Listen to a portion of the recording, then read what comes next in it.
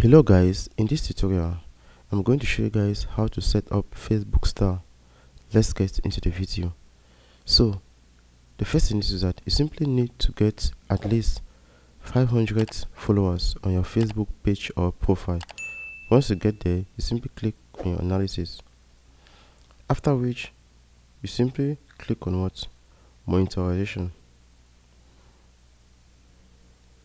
Once you're here you are going to see set up.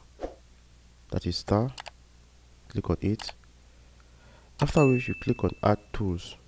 So you simply need to connect with your audience and earn money from it. So we are going to click on add tools.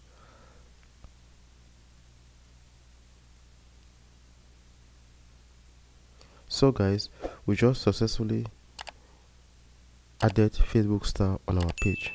Thank you guys for watching don't forget to leave your comments in the comment section below.